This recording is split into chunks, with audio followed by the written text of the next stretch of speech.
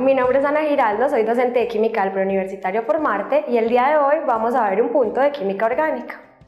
Los cresoles se encuentran en muchos alimentos y en el humo de madera y de tabaco, en alquitrán de hulla y en mezclas como las que se generan al quemar alquitrán de madera. Es un compuesto aromático disustituido y corresponde al metil hidroxibenceno. De los siguientes compuestos, el que corresponde al ortocresol es la respuesta correcta es la A. Miremos por qué.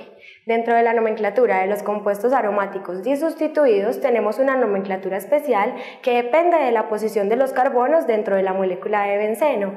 Si los sustituyentes se encuentran en el carbono 1 y 2, entonces la nomenclatura será orto. Si los sustituyentes se encuentran en el carbono 1 y 3, la nomenclatura será meta. Y si los sustituyentes se encuentran en el carbono 1 y 4, la nomenclatura será para. Por lo tanto, como nos están preguntando por las estructura del ortocresol, la respuesta correcta sería la A, ya que los sustituyentes se encuentran en el carbono 1 y 2 de la molécula de benceno.